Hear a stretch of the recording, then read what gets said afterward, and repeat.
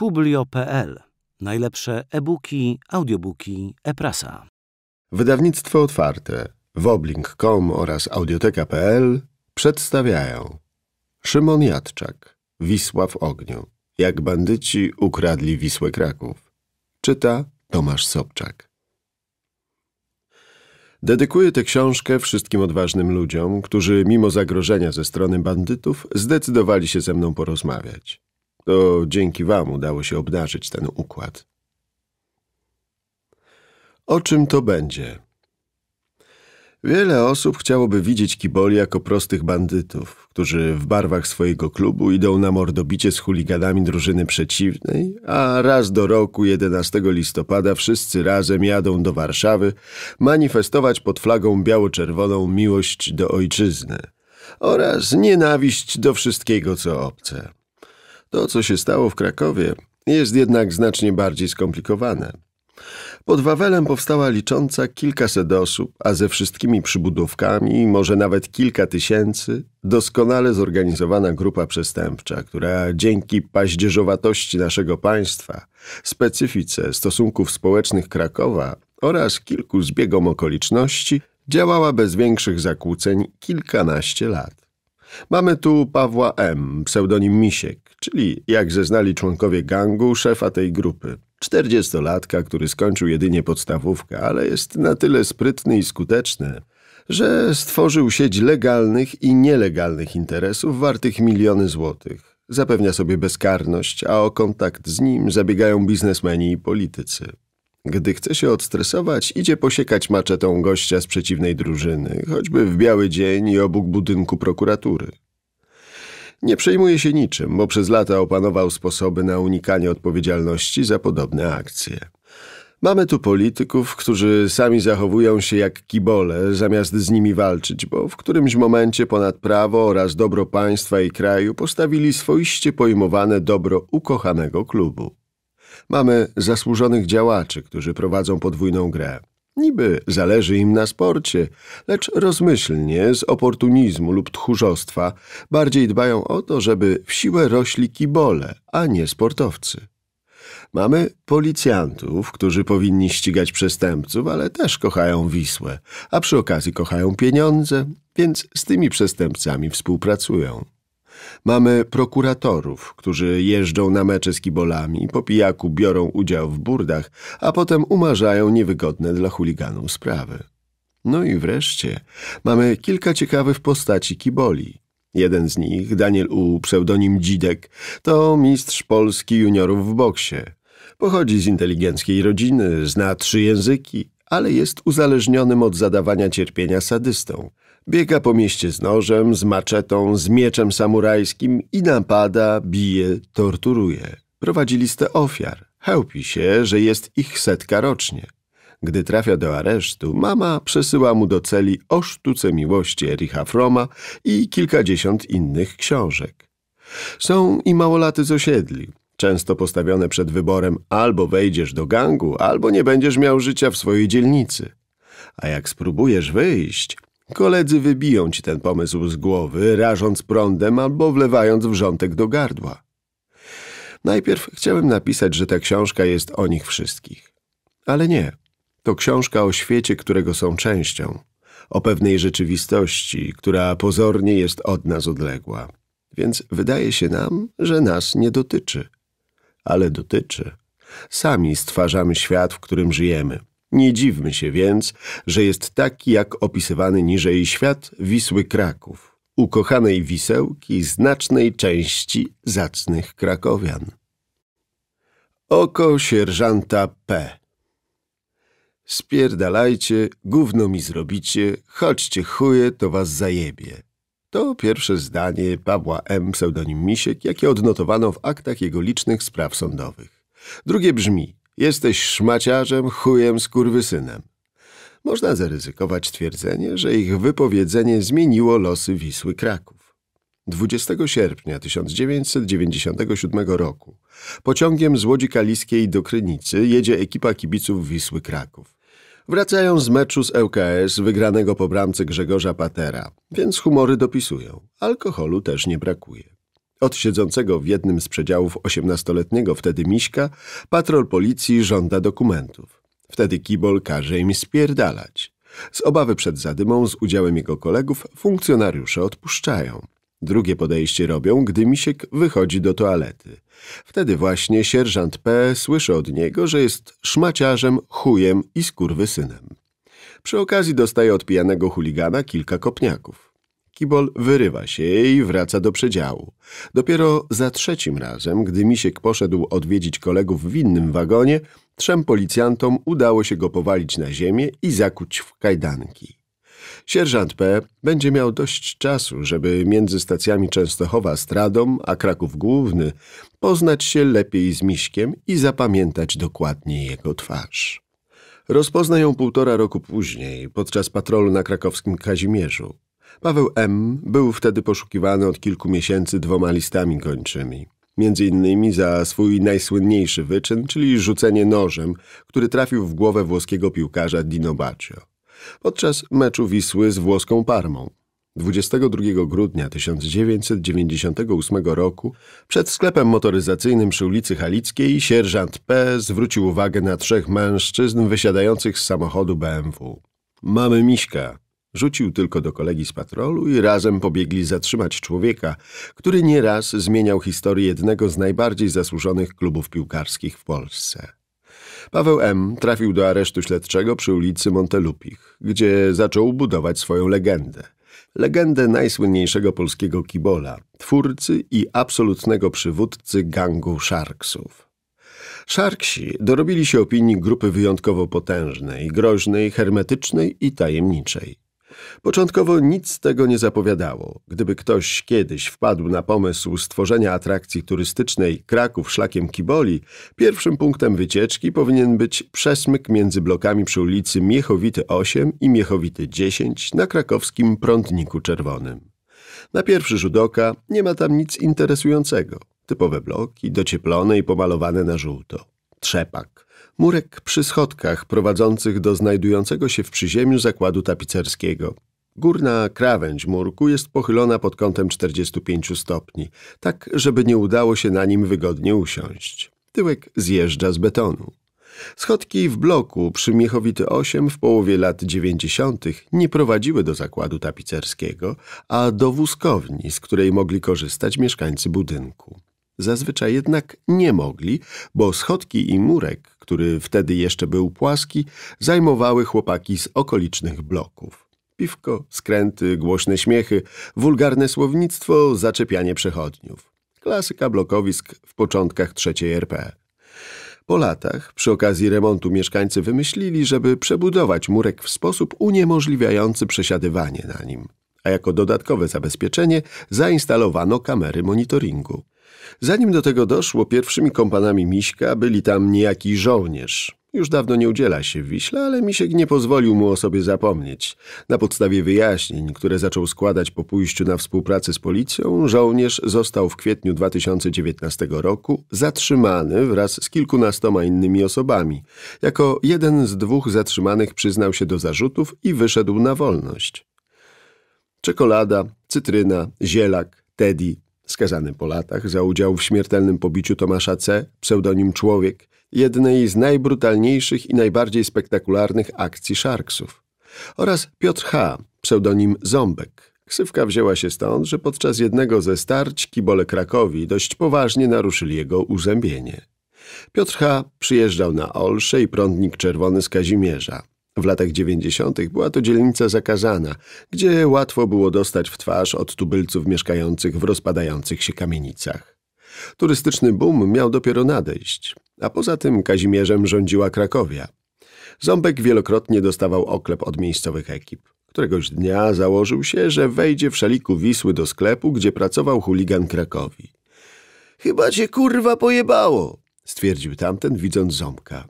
I znowu oklep. Nic dziwnego, że Ząbek wolał jeździć na północ Krakowa i siedzieć pod blokiem z Miśkiem. Zrobię ci dziecko. Większość moich rozmówców twierdzi, że to właśnie Ząbek wymyślił nazwę Wisła Sharks. Jej pochodzenie jest dwojakie. Po pierwsze, Piotr H. zobaczył gdzieś fragment meczu amerykańskiej ligi hokeja NHL, w którym grała drużyna San Jose Sharks i postanowił, że zostanie jej kibicem. Nazwa tak mu się spodobała, że zaproponował ją dla powstającej właśnie kibolskiej bojówki. Młodzi chuligani mieli kolegę z Podgórza, który po pracy w jednym z krakowskich warsztatów zajmował się hobbystycznie wyrobem różnych przedmiotów z metalu. Przygotował dla nich specjalne noże.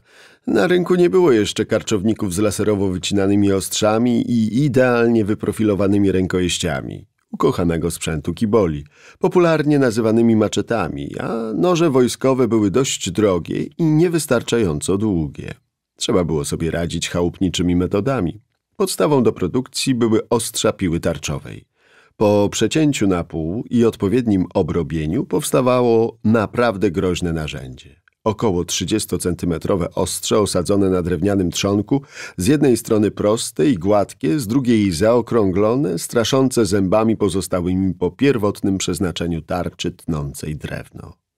Nic dziwnego, że kibolom ten poprzednik karczowników kojarzył się z rekinem.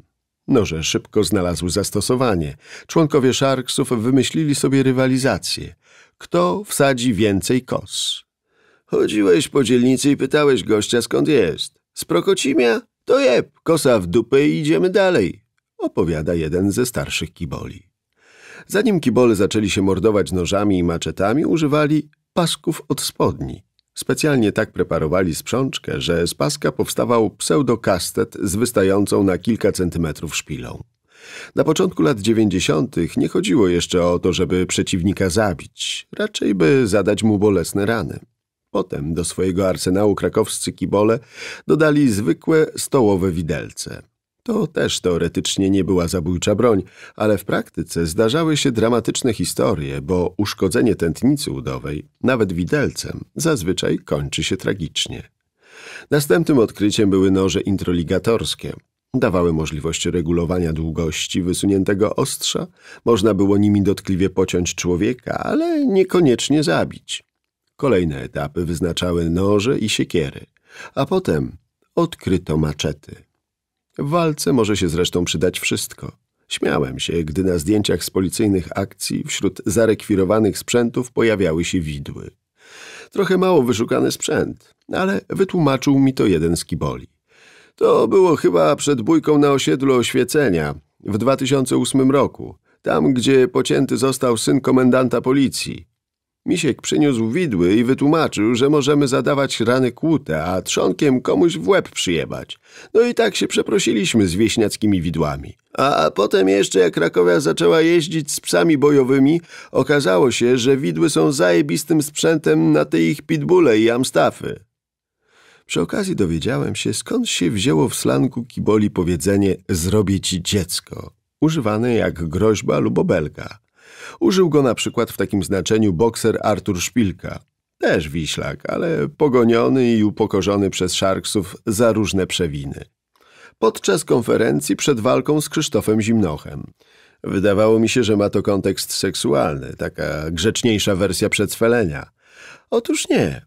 Wsadzasz komuś kosę w brzuch, przekręcasz i wyciągasz z bebechami. Flaki to właśnie to dziecko. Tłumaczył mi jeden z kiboli, a jego obszerna karta karna sprawia, że nie mam powodów, by mu nie wierzyć. Od początku było jasne, że na czele Sharksów stanie Misiek. Charyzmy nigdy mu nie brakowało, ale w tamtym czasie podobnych ekip przesiadujących pod blokami były w Krakowie dziesiątki, jeśli nie setki. Do przejęcia władzy w mieście była jeszcze długa droga. Lata dziewięćdziesiąte to rozkwit subkultury pseudokibiców. Wcześniej, w poprzednim systemie, nie było miejsca na duże zorganizowane grupy, które mogłyby się wymknąć spod kontroli państwa.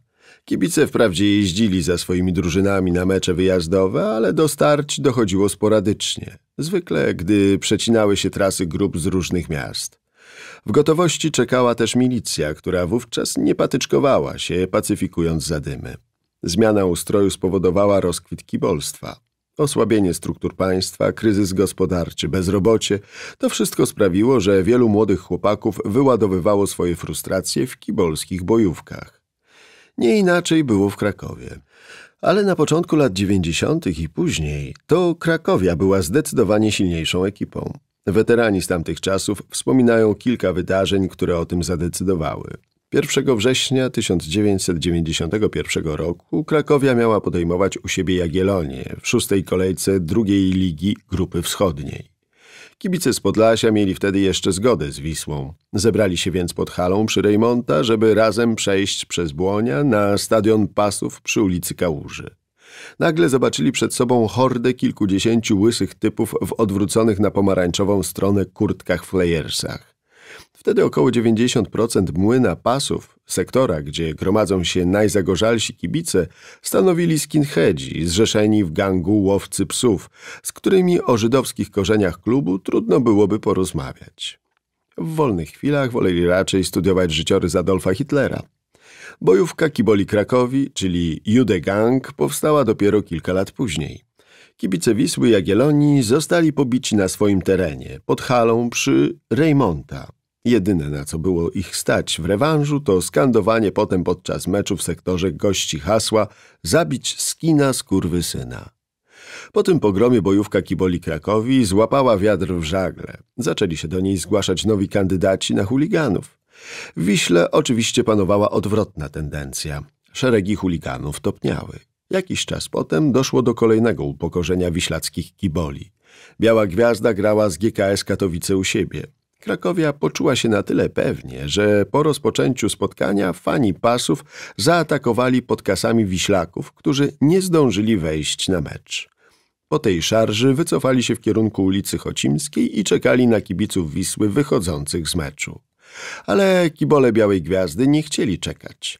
Jeszcze w trakcie meczu postanowili wyrównać rachunki. Ponad setką ruszyli ze stadionu ulicą Miechowską w stronę Chocimskiej. Idą! Ani kroku w tył, bo zajebie! Krzyknął któryś z przywódców Krakowi. Ale posłuchu za dużego nie miał. Z dwustu osób zostało osiemdziesiąt.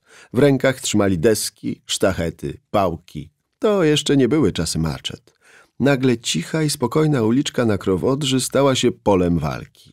Kibole Krakowi, chociaż przeciwnik miał znaczną przewagę liczebną, ustawili się w szeregu i czekali.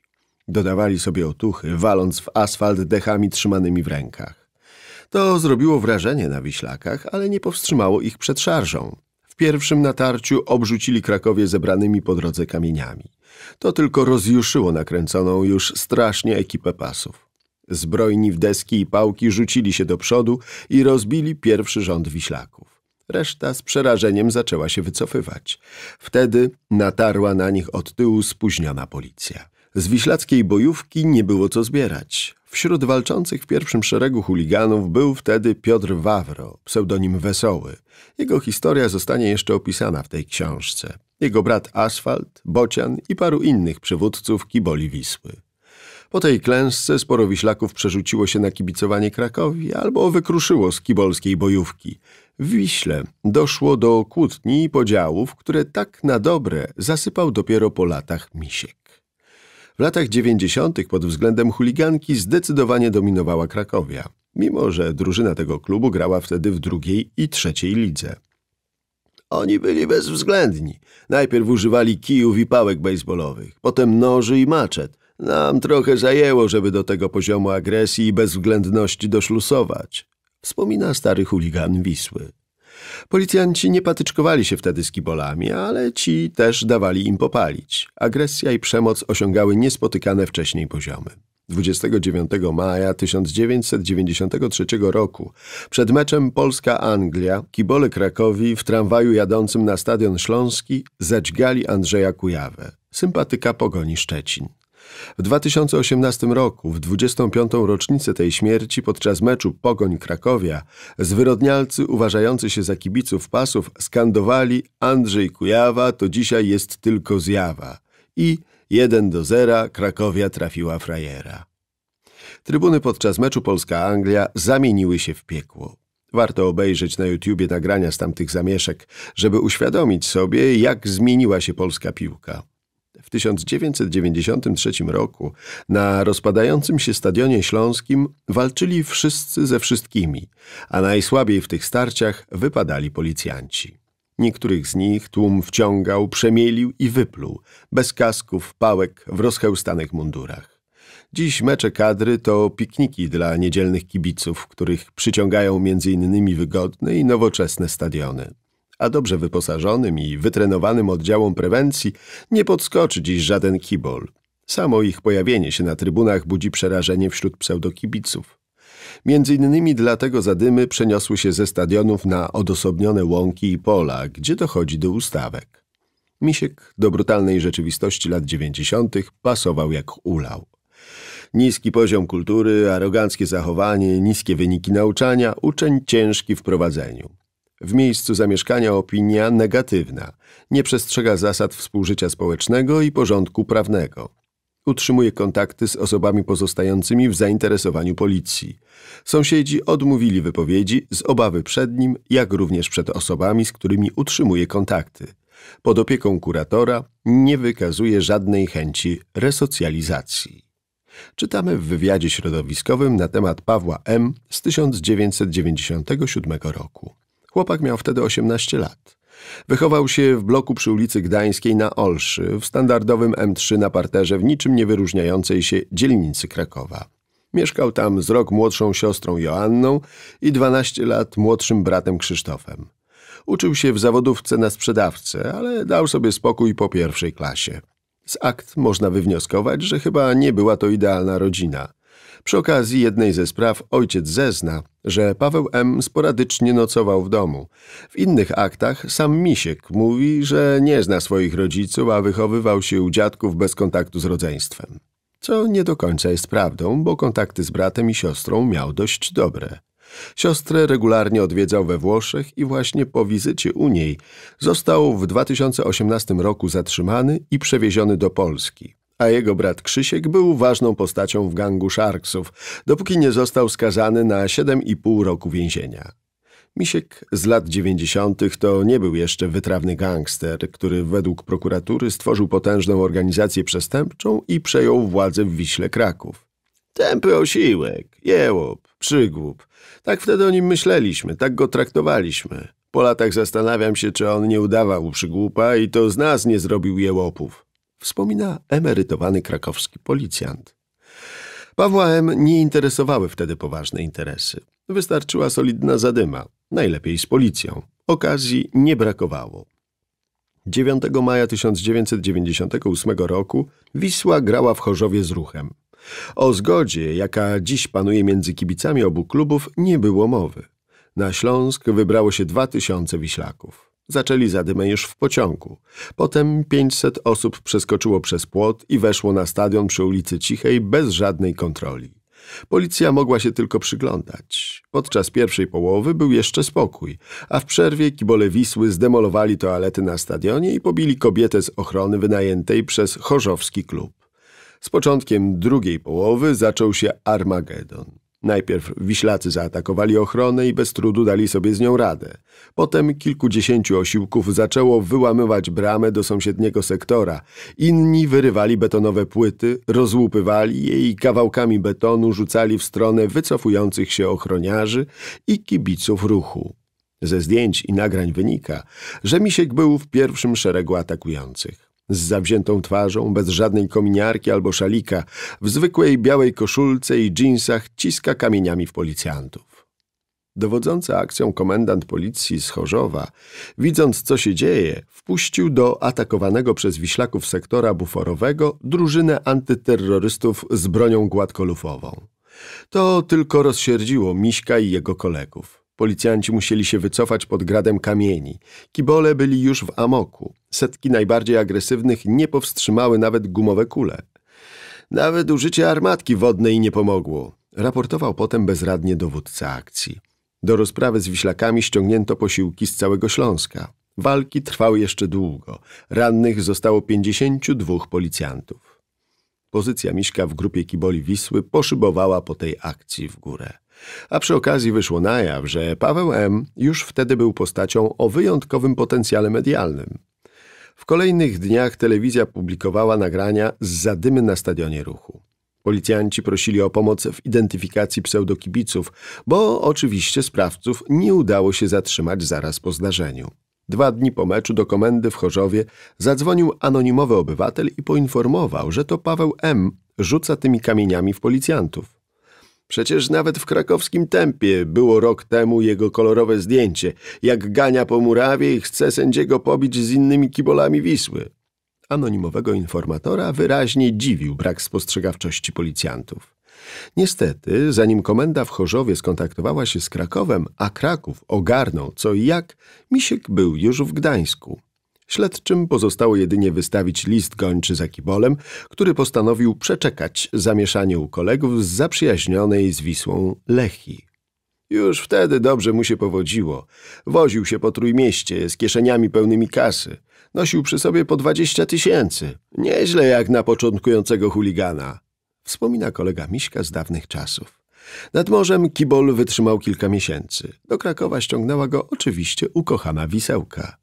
Jakim cudem Paweł M., poszukiwany listem gończym za udział w zadymie, która zakończyła się mniejszymi lub większymi obrażeniami 52 funkcjonariuszy, wchodzi 20 października 1998 roku na stadion Wisły, obstawiony przecież dokładnie przez policję, pozostanie jego słodką tajemnicą.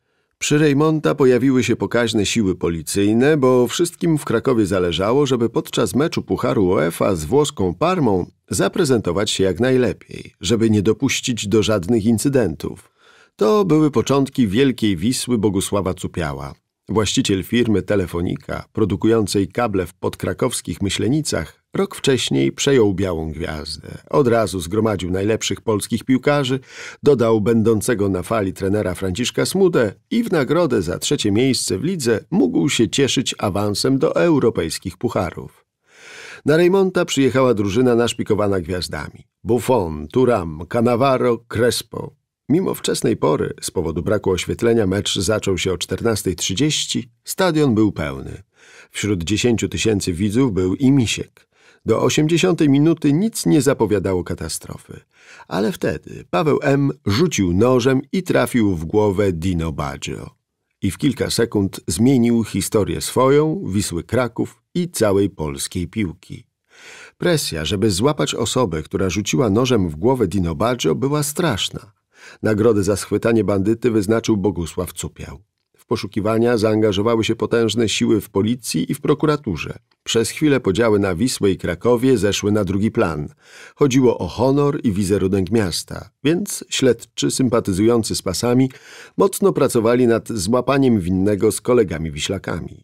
Chodziło też o uprzedzenie władz UEFA, które miały zdecydować o karze dla Wisły. Pod Wawelem liczono, że schwytanie sprawcy zadziała na korzyść klubu i poskutkuje łagodniejszą karą. Ale już na początku zaczęły się problemy, bo przecież oficjalnie nie udało się nawet znaleźć narzędzia zbrodni. Kilka dni po meczu odbyła się narada śledczych z działaczami w budynku klubowym Wisły. A może powiemy, że to była parasolka? Zaproponował nagle przedstawiciel organów ścigania. Na co jeden ze starszych działaczy otworzył szufladę, wyjął z niej nóż typu butterfly i obrócił nim kilka razy w powietrzu. Parasolka, powiada pan. Całkiem ładna parasolka. Rzucił grobowym tonem. Kilka chrząknięć i nóż z powrotem wylądował w szufladzie. Oficjalnie noża nigdy nie znaleziono. W aktach sprawy są zdjęcia noża identycznego z tym, jakim rzucał misiek. Waga 160 gramów, ostrze długości 10 cm, całość 22 cm. Nóż z murawy na bieżnie odrzucił piłkarz Ryszard Czerwiec. Zeznał potem. Z uwagi na fakt, że byłem zmęczony spotkaniem, które toczyło się w dużym tempie oraz zaistniałą sytuacją, nie zwróciłem dokładnej uwagi, jaki konkretnie przedmiot leży na boisku. Za co zresztą został zawieszony przez UEFA. Według mojego rozmówcy, emerytowanego śledczego, który pracował przy sprawie, nóż z ziemi podniósł ochroniarz, a potem ów nóż wylądował w działaczowskich szufladach. Jeden z moich rozmówców zarzeka się, że widział ten nóż niedawno, a pokazywał go były działacz Wisły. Ale w oficjalnych aktach jest inna wersja – Według świadka nóż odrzucony z boiska przez Ryszarda Czerwca trafił za pośrednictwem chłopca od podawania piłek do kibiców i po chwili z powrotem znalazł się w kieszeni Miśka. W tej sprawie liczba rozbieżnych zeznań i rozmijających się wspomnień przypomina liczbę wersji bajki o czerwonym kapturku. Są też dwa warianty historii złapania samego Miśka. Według jednego śledczym udało się dotrzeć do jego kumpla, który za nagrodę obiecaną przez Cupiała postanowił sprzedać kolegę. Podobno bardzo kręcił nosem, że dostał tak mało, a i z wypłaceniem gotówki były jakieś problemy.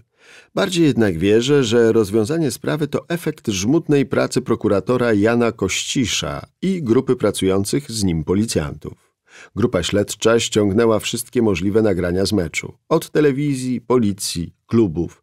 Do pomocy śledczym udało się zaangażować profesjonalnych filmowców spoza służb, z zaawansowanym jak na tamte czasy sprzętem do obróbki zdjęć. W ten sposób udało się na jednym z nagrań wyodrębnić sylwetkę rzucającej postaci. Nie była to jakość 4K, Pamiętajmy, że mówimy o czasach kaset VHS, ale był już punkt zaczepienia do dalszych poszukiwań. Wtedy policjanci zebrali się do żmudnego przeglądania zdjęć z innych zadym z udziałem wiślaków. Mieli pod ręką m.in. sporo nagrań z meczu ruchu z Wisłą z maja 1998 roku. Dość szybko trafili w dziesiątkę. W tłumie kiboli walczących z policją charakterystyczna postać w białej koszulce i dżinsach rzucała się w oczy. Prokurator Kościsz do dziś jest fanatycznym kibicem Wisły Kraków. Takim, który za klub dałby się pokroić i który oddałby za niego ostatnią koszulę. Ale i takim, który pokroiłby ludzi szkodzących Wiśle i odebrałby im ostatnią koszulę. I podejrzewam, że właśnie dzięki doskonałej orientacji w kibicowskich realiach oraz zacięciu do ukarania gościa, który skrzywdził obiekt jego miłości, udało mu się dotrzeć do świadków, którzy potwierdzili to, co policjanci znaleźli na nagraniach. Nie było łatwo namówić kogokolwiek do zeznawania przeciwko kibolom. Po trzech tygodniach udało się jednak w końcu znaleźć kogoś takiego. Wtedy po raz pierwszy w Krakowie użyto instytucji świadka incognito. Z akt usunięto wszelkie szczegóły umożliwiające identyfikację człowieka, który pomógł dokonać przełomu w śledztwie. Ale wiadomo, że był to kibic stojący na trybunach niedaleko Miśka. Świadek ten zeznał, że do incydentu doszło około 80 minuty meczu. Kibice żywo zareagowali, gdy Diego Fuser sfaulował, a potem opluł Grzegorza Kaliciaka. Misiek zajmował miejsce w sektorze jedenastym. W pewnym momencie zszedł kilka rzędów w dół, w stronę boiska, rozpiął kurtkę i rzucił w stronę włoskich piłkarzy nóż. Trafił w tył głowy Dino Baggio. Zaraz po rzucie zgromadzeni wokół Miśka Kibole krzyczeli do niego. Coś ty zrobił! Ale ze strachu przed nim i jego kolegami żaden nie odważył się na nic więcej niż krzyki. Misiek na meczu był z dwoma kumplami. Odolem, zwanym też Piranią i Dzielnicowym. Po tym rzucie widziałem, jak sobie gratulowali, zeznał świadek. Po rzucie podejrzany w sposób oczywisty przejawiał swoją radość. Napisał w akcie oskarżenia prokurator Jan Kościsz. Co ciekawe, dzielnicowy, ksywka wzięła się od profesji jego ojca, niegdyś milicjanta, do dziś jest aktywny wśród kibiców Wisły.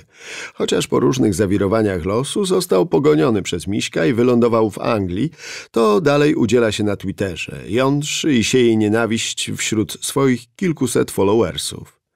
Gdy zadzwoniłem do niego, już taki rozmowny nie był. Wymamrotał, że nie chce ze mną gadać i rozłączył się. W aktach sprawy rzucenia nożem w Dino Baggio po raz pierwszy pojawia się nazwa Sharks. Osoba ta nazywana jest Miśkiem i z tego co wiem mieszka gdzieś na Olszy. Jest to chłopak w wieku około 20 lat, krótko ostrzyżony, można powiedzieć, iż prawie na łyso i należy on do grupy Shark. Tak w oryginale. Jest to grupa kibiców Wisły, tak zwanych ultrasów, wyróżniająca się agresywnością i brutalnością w postępowaniu, w szczególności wobec kibiców innych drużyn. W swoich działaniach posługują się nożami, kijami baseballowymi i innymi tego typu narzędziami.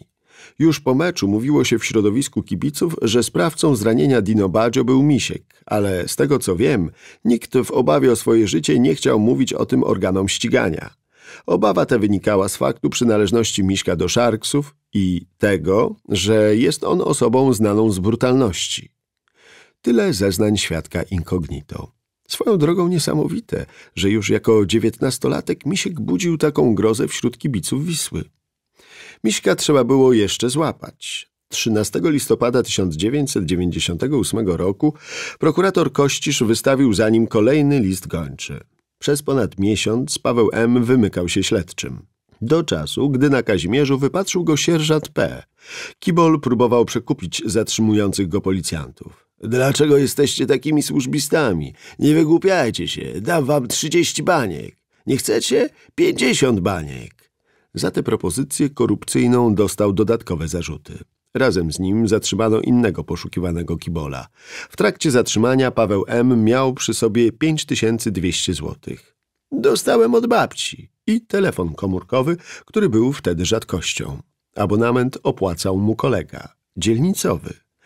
A co Misiek robił bezpośrednio po rzuceniu nożem w głowę Dino Baggio? Jak dostał się na mecz z Parmą? Odpowiedź na to pytanie znajduje się w aktach sprawy o sygnaturze 3K 254 przez 05. Misiek pije zdrowie Dino Baggio. Musi pan przeczytać te akta, żeby zrozumieć, co się działo w Krakowie, zanim Misiek zbudował swoją potęgę i kto mu ją pomógł zbudować. Słyszałem od paru osób, które mają ogromną wiedzę na temat przestępczego Krakowa. Rzeczywiście, akt oskarżenia przygotowany przez prokuratora Marka Pasionka, dziś zastępcę prokuratora generalnego, a w 2005 roku prokuratora prokuratury apelacyjnej w Katowicach, to kopalnia wiedzy o działaniach krakowskich gangsterów w latach 90. Już pierwsze zdanie tego dokumentu brzmi obiecująco. Dziennikarze uwielbiają nazywać ją mafią. Na 187 stronach Pasionek oskarża grupę ludzi związanych ze Zbigniewem Eś, znanym jako Pyza. Początek lat 90. w Krakowie to w świecie przestępczym okres panowania Janusza T., pseudonim Krakowiak. Zaczynał od napadów na robotników z Nowej Huty wracających po kilku piwach do domu. Pod koniec lat 80. przeniósł się na Śląsk, a jego grupa panowała nad całą południową Polską. Dziś jest legendą półświadka, ma nawet swoje hasło w Wikipedii. Jego gang słynął z brutalności. Zacytujmy prokuratora Pasionka. Przez blisko 10 lat terroryzowali Śląsk i Małopolskę, wydawali wyroki śmierci na biznesmenów, decydowali, kogo porwać, okraść czy zmusić do płacenia haraczu. Czerpali kolosalne zyski z produkcji i sprzedaży narkotyków oraz handlu bronią. Jednym z najzdolniejszych żołnierzy krakowiaka był wspomniany Zbigniew Eś, pseudonim Pyza. Janusz T. znalazł go na bramce knajpy przy ulicy Lubicz, niedaleko krakowskiego dworca. Wyszkolił i namaścił na swojego następcę w Krakowie. Według śledczych Pyzie szło na tyle dobrze, że wkrótce jego ludzie obstawiali niemal wszystkie bramki w mieście, zajmowali się też ściąganiem haraczy, handlem narkotykami. Ale Pyza miał w mieście potężnego rywala – gang Marchewy, czyli Jacka M. i jego przyrodniego brata Marka D., pseudonim Mały Marchewa, a dla wtajemniczonych Kajdan. Tę ksywę zyskał, gdy w młodości pobił łańcuchem od huśtawki kibica Krakowi. Jak ustaliła policja, również zajmował się haraczami i kontrolował agencje towarzyskie.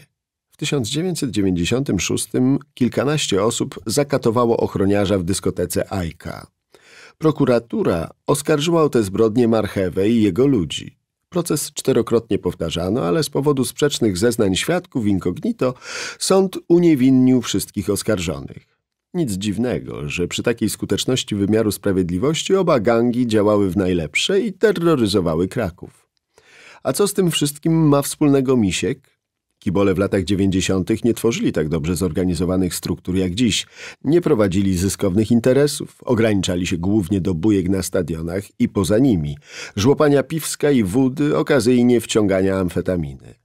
A gangsterzy pokroju Pyzy i Marchewy zaczęli widzieć w gościach ze stadionów zaplecze dla swoich grup. Zbigniew Eś kibicował Krakowi, więc podporządkował sobie ekipę pasów. Darek D. kibicował Wiśle, więc biegali dla niego Wiślacy. Ale, co trudno sobie dziś wyobrazić, przynależność do gangu była ponad wierność klubowi.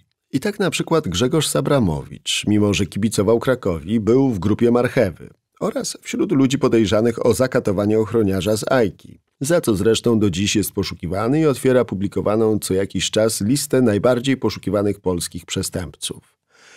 Po aresztowaniu powiedział policjantom, którzy przewozili go w konwoju, że chciałby na chwilę wyskoczyć do ukochanej i się pożegnać. Dał im za to flaszkę wódki i czmychnął. Dziś ukrywa się w jednym z europejskich krajów. Niedawno wziął ślub, a przedstawiciele Krakowi pojawili się z barwami na tej uroczystości. W grupie Pyzy też nie brakowało wiślaków.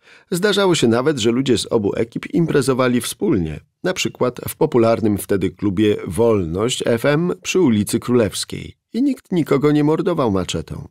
W tamtych czasach przede wszystkim liczyły się pieniądze. Jeśli można było zarobić, to i kibic Krakowi brał się do sprzedawania biletów na mecz Wisły. 20 lat temu o internetowej sprzedaży biletów można było poczytać najwyżej w Nowej Fantastyce, a pod stadionami królowały koniki, czyli ludzie, którzy mieli dojścia do biletów i sprzedawali je potem z odpowiednim przebiciem. Oczywiście koniki pod stadionem Wisły były pod opieką ludzi marchewy, a właściwie Pawła S., pseudonim Juju, który przejął stery w gangu po aresztowaniu marchewy za zabójstwo w Ajce. Przed meczem Wisły z Parmą panowało szaleństwo. Bufona, Verona i spółkę chciało zobaczyć pół Krakowa. Ludzie zabijali się o bilety. Koniki szykowały się do żniw. Jeśli bilet na sektor A kosztował nominalnie 40 zł, to pod stadionem mógł pójść i za 400. Ludziom pyzy zaświeciły się oczy, gdy przeliczyli potencjalne zyski, a najbardziej nakręcił się Tomasz K., pseudonim Kaczka. Ale jak zdobyć bilety, na których łapę trzyma wroga ekipa?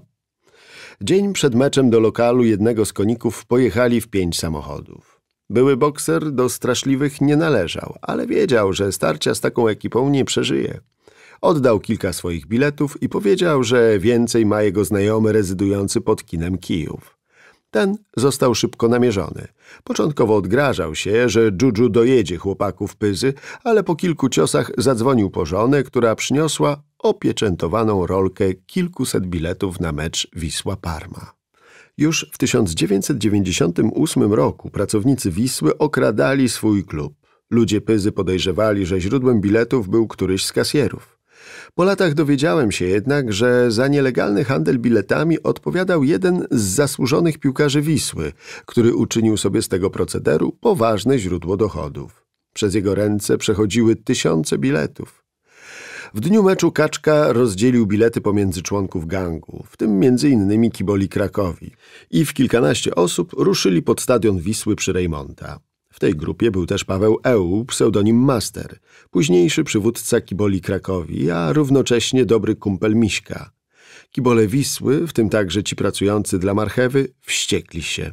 Bojówka kiboli Krakowi, sprzedająca bilety wiślakom pod ich własnym stadionem, to szczyt bezczelności. Doszło do przepychanek. Jeden z chuliganów Krakowi został skopany i okradziony z biletów. Ale po chwili ludzie Pyzy wyjaśnili sytuację. Kaczka skopał jednego z wiślaków, reszta się rozeszła.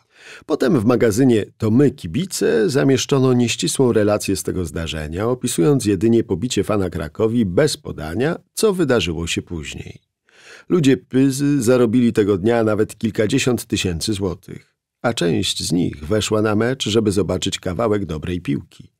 Ich Krakowia grała wtedy w trzeciej lidze. Trzy dni wcześniej pokonała przy ulicy Kałuży Szydłowiankę Szydłowiec 4-0.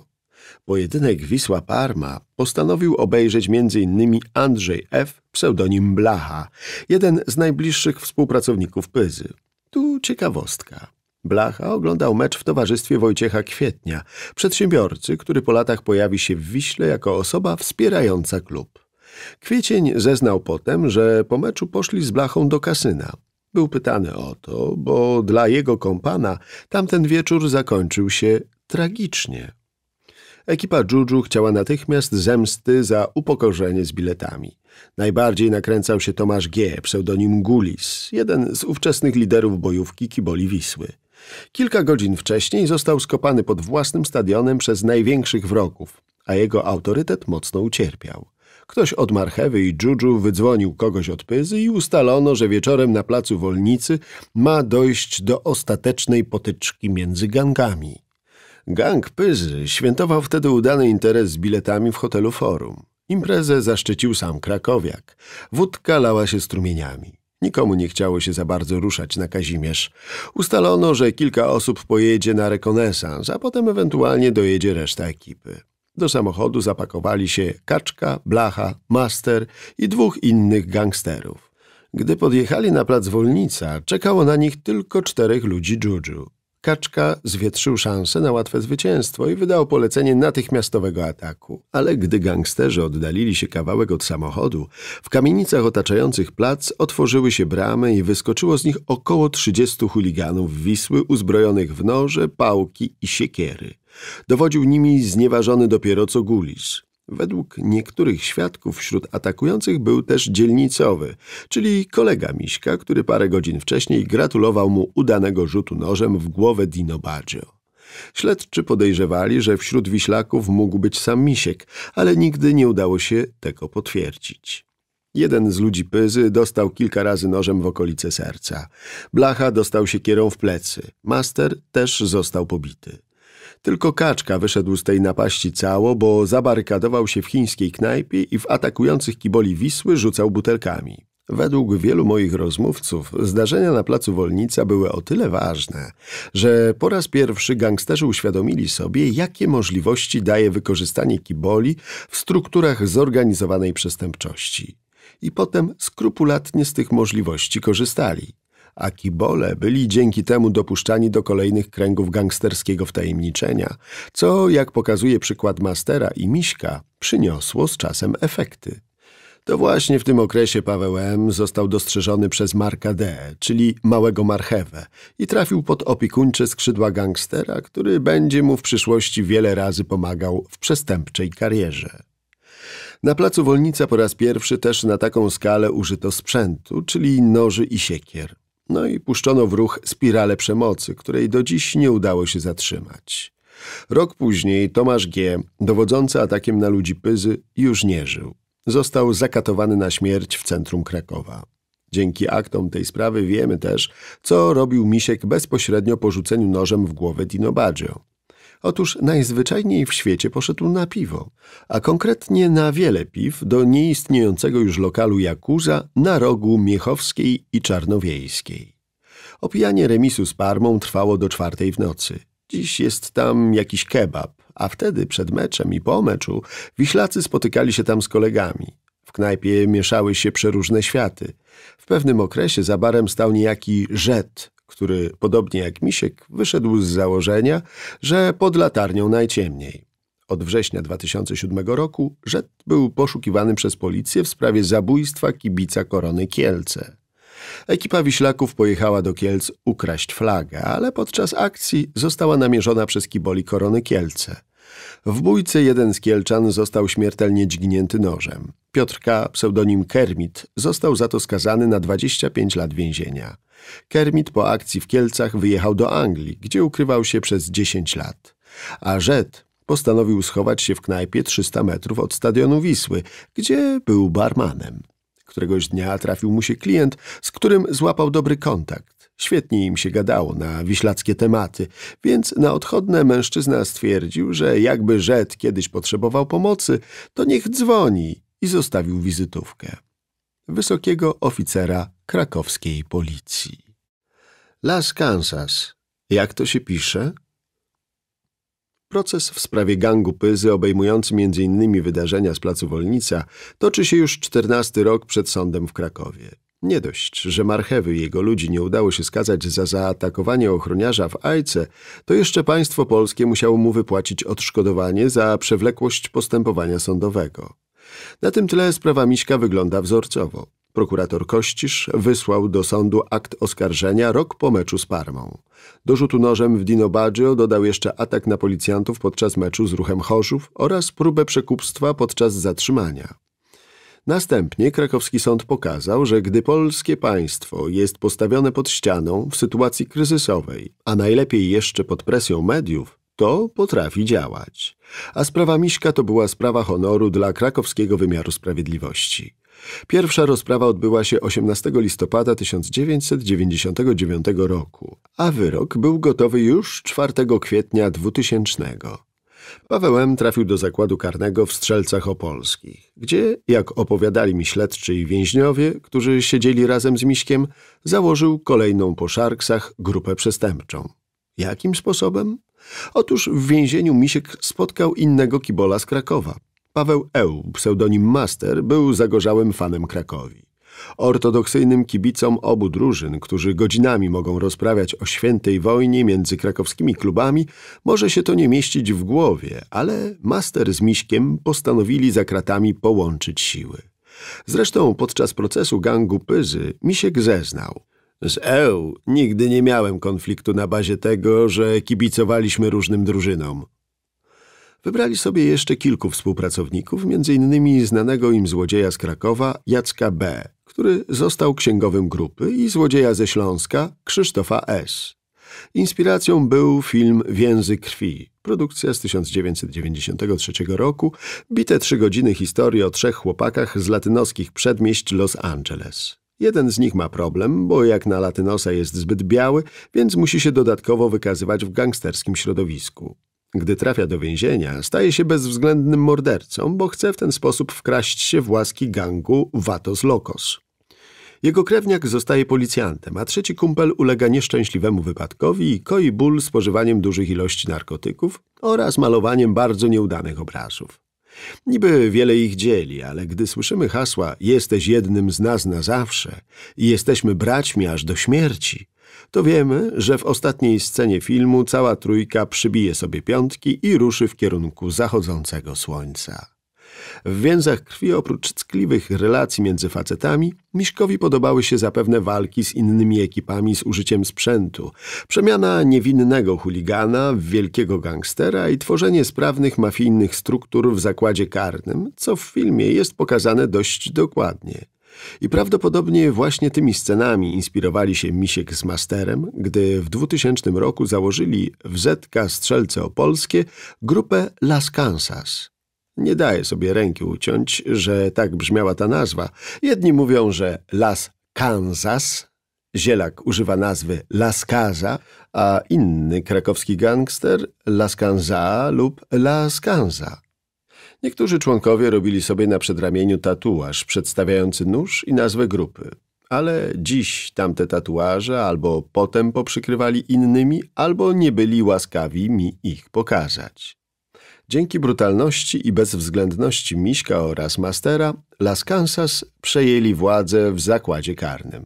Starzy grypsujący się ich bali, a młodzi woleli się przyłączyć niż narażać na konflikt. To ewenement w warunkach więziennych ale do grupy należeli zarówno grypsujący, jak i frajerzy, czyli więźniowie nienależący do więziennej subkultury. Zresztą sam master nie grypsował, bo Krakowia do pewnego momentu z zasady nie grypsowała. Nasi jako pierwsi szli siedzieć, dostawali wysokie wyroki, ale nie chcieli marnować życia w kryminałach, woleli wyjść, cieszyć się normalnym życiem, zarabiać pieniądze, więc nie pakowali się w grypserę opowiadał mi człowiek z pasiastej strony Krakowa. Rzeczywiście, wejście w subkulturę grypsujących właściwie wyklucza możliwość starania się o przedterminowe zwolnienie. Członkowie Las Kansas spotykali się w więziennej szkole. W tamtym czasie Misiek uwielbiał się bić i dobierał sobie równie ostrych zawodników. W szczytowym momencie do Las Kansas należało kilkadziesiąt osób.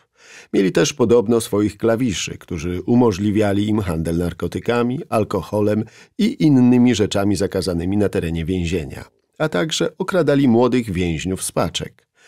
Zaopatrzenie z zakrat zapewniał pewien bardzo znany krakowski gangster, którego z jakiegoś powodu Misiek postanowił oszczędzić w swoich wyjaśnieniach, jakie składa od grudnia 2018 roku w krakowskiej prokuraturze, więc ja też nie będę wychodził przed szereg z ujawnianiem jego tożsamości. Zwłaszcza, że pan gangster przeprowadził się teraz pod Kraków, wyciszył i chce uchodzić za szanowanego biznesmena. W końcu, po wielu miesiącach, służba więzienna chyba się zorientowała, że pod jej okiem urosła spora i sprawna grupa przestępcza. Paweł M. został karnie wyekspediowany do więzienia w Tarnowie. Doszło też do jakiegoś poważnego starcia z grypsującymi, które najprawdopodobniej zakończyło się porażką kiboli, ale nie udało mi się ustalić szczegółów tych wydarzeń. Członkowie Las Kansas byli potem prześladowani w innych więzieniach przez grypsujących. Wielu moich rozmówców podkreślało, że za podniesienie ręki na git ludzi na Miśka wydano wyrok śmierci wśród grypsujących i jeśli kiedykolwiek trafi z dłuższym wyrokiem za kraty, to skończy tragicznie. Pola z Kansas pozostało wspomnienie, ale znajomość z masterem przetrwała. Zastanawiałem się, czy nikomu nie przeszkadzało, że przywódcy walczących na śmierć i życie grup kibolskich nawiązali współpracę. Niesmak pozostał, ale nikt nie śmiał ich ruszyć, skomentował jeden z kiboli. Dziękujemy za wysłuchanie fragmentu audiobooka. Cała książka do nabycia w publio.pl.